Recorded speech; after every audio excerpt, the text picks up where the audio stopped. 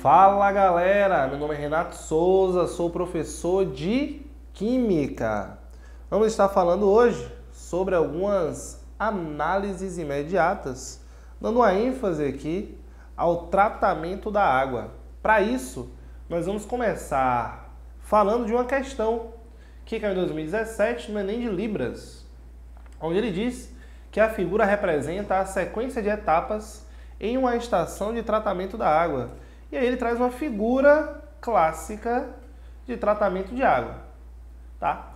Na nossa análise, a água doce, né, a água de uma represa, por exemplo, ela vem, passa por uma grelha para que fiquem retidos aqui é, espécies maiores, para que não venham a entulhar, por exemplo, nos processos. E aí nós passamos para um tanque de oxidação.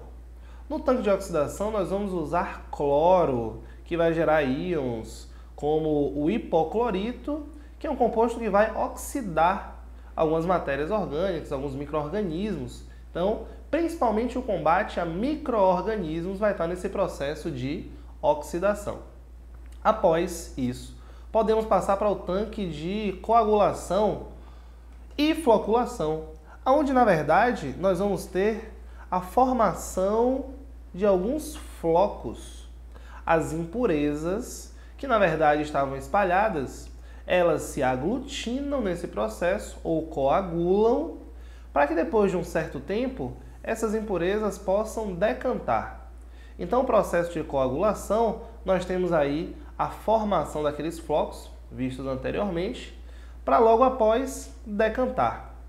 Perceba que os processos de tratamento da água indicam o que está sendo feito. Oxidação é a ação de oxidar, coagulação, ação de coagular, floculação, ação de flocular, ou seja, formar flocos, e a decantação é a ação de descer. Porque na verdade os materiais que ficaram pesados na formação dos flocos, por densidade, vão ter uma tendência em vir para o fundo do recipiente e decantar. Tudo bem? Então o processo de decantação utiliza a densidade como principal característica. Após essa decantação, o material passa por uma filtração ou então tratamento de lamas, né, a parte que decantou. Mas no processo de filtração, nós podemos utilizar, por exemplo, carvão ativado. Esse carvão ativado, ele vai reter algumas partículas sólidas que não foram retidas nos processos anteriores e alguns compostos orgânicos que podem dar cheiro e sabor a essa água.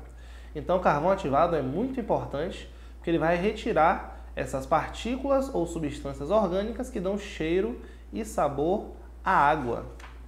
Continuando o nosso processo, passa novamente por uma desinfecção, que é um processo bem similar à oxidação, vai para o armazenamento e a distribuição na nossa casa. Tudo bem?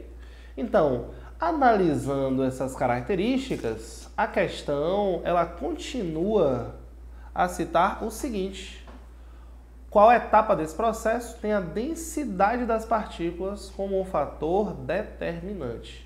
Veja, a densidade ela vai ser um fator determinante na decantação, onde eu formo os flocos que são pesados e acabam descendo com a ajuda da gravidade para a parte inferior.